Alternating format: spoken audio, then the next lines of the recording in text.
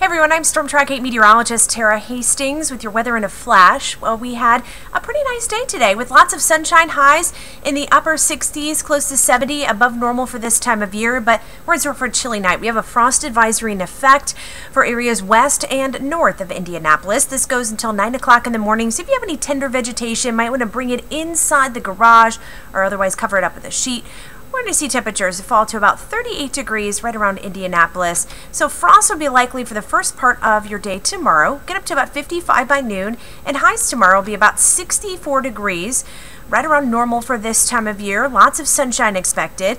Clouds are going to increase as we head into Tuesday, though, ahead of our next storm system. That will bring us a chance for a few scattered showers later in the afternoon and evening on Tuesday. In your Chapman Heating and Cooling 8 day forecast, up to 70 degrees on Tuesday. It'll be a breezy afternoon. Temperatures fall into the 50s on Wednesday, and then we climb back into the 60s for Friday with a chance for some showers over the weekend.